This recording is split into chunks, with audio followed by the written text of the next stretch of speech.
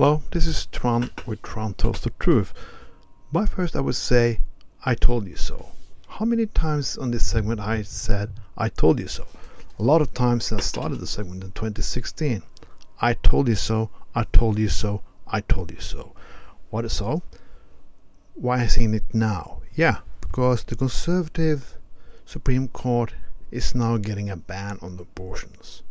Well, how did they get that number? How did they get so many conservative judges in the Supreme Court? Yeah, they got it because they had a majority. They had Trump and they had a majority in the House and Senate. How did they get that? Yeah, by voting. Conservatives went on and vote, but the liberals, radicals, and people in the Senate didn't. So they make more rules so they can keep the vote for many generations to come so poor people, black people, and so on can't vote, so they can still hold a majority even they are the minority. I told you so. If you don't go and vote, if you're not patient, if you're not just, yeah, vote for the sake of your life. It looks like this. We had an election in France right now. Or the choices between Macron or Le Pen. No other choices are good. But what do you want? A rich bastard with so many faults, or a fucking Nazi? A nationalist? A person who want to ban Muslims in France? Oh, well, and you can say, oh, there are third choice. I can let my voice be heard by doing nothing. Now, it doesn't work that way, because if you do that, we will get the fucking Nazi. During the 30s, the same thing happened. A lot of people didn't vote. So we get a fucking Nazi. Yeah. And when the Nazi got in power, nobody did anything. Do you know the Nazi party in Germany never got more than 35% of the votes?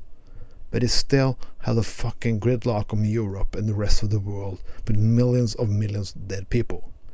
Okay, that was a little far out of my segment, but now we can have a ban on abortions. We can change that. We can do something about it if people go and fucking vote in the midterms. Okay, there are Democrats who are assholes, corrupted by corrupt assholes. But you have a choice now. Do you want abortions or you don't? I always fucking hate this issue. I hate this issue because if you don't want abortions, you do other things. The, uh, the, the funny thing in Norway, this the amount of abortions is going down abortion are legal, but they will go down. Oh, so why have it go down? Because you have sexual education in Norway.